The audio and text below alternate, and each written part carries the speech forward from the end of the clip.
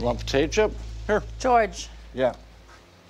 are you feeding Monroe chips? Yeah.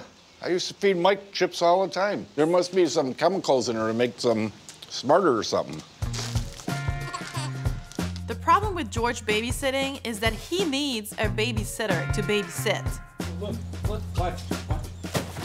Oh! Monroe, you want to hit? Okay, good girl. Let me look. No, you don't hit on the 17. Look, this is what happens. You bust. What are you guys playing? Blackjack. Blackjack? Yeah, so she can make money. Do you want a whiskey and like a cigar with that?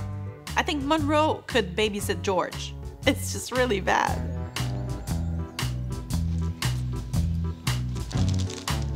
Uh-oh. Monroe! Monroe!